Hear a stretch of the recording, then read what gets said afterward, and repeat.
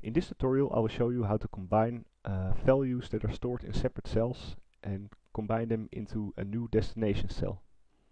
So a commonly used example is the uh, first name and last name which are stored in uh, separate cells and you want to combine them into one complete name, full name uh, in uh, a new destination cell. So what I can do is I select the cell that I want to use as a destination cell, go to the function, uh, the formula bar and type equals open brackets. And then I select the position of the first name which is A1 the A1 position will be uh, entered after the open brackets. I will add an ampersand and then select uh, the position of the last name.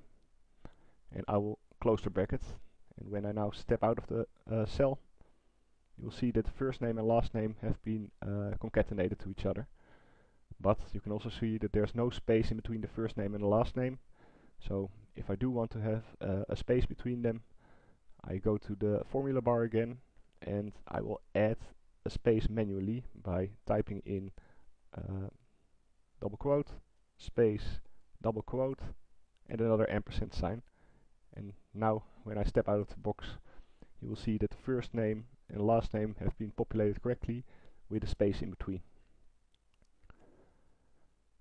Another example uh, that you can use to uh, combine data from different cells is the uh, concatenate function.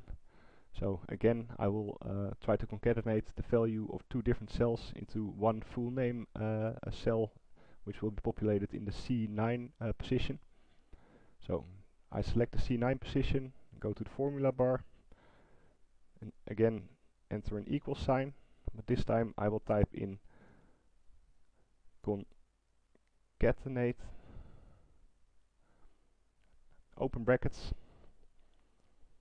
Then I will select the position of the first name type in a comma and then select the position of the last name and